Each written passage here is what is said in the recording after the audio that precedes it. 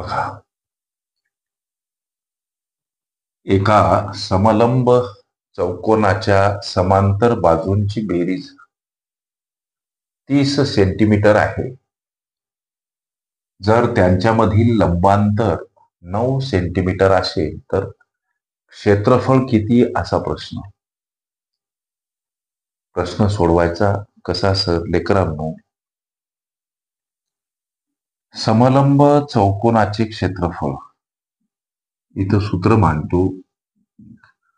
समलंब चौकोनाचे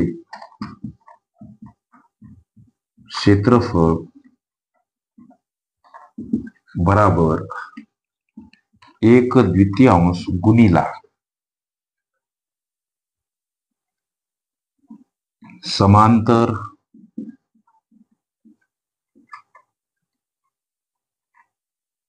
बाजूच्या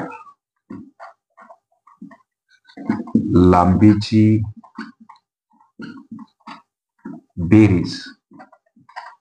आणि याला गुणीला काय? तर लंबांतर. हे सूत्र पक्क पाठ करा. लक्ष द्या. प्रश्नामध्ये समलंब चौकोनाचं क्षेत्रफळ किती? असा प्रश्न. इथं सूत्र सांगते त्याप्रमाणे एकशे दोन गुणीला. चौकोनाच्या समांतर बाजूंची बेरीज. समांतर बाजूच्या लांबीची बेरीज या रखान्यात ही बेरीज आहे तीस सेंटीमीटर. आणि त्यांच्यामधील लंबांतर नऊ सेंटीमीटर लेकरांनो लक्ष द्या.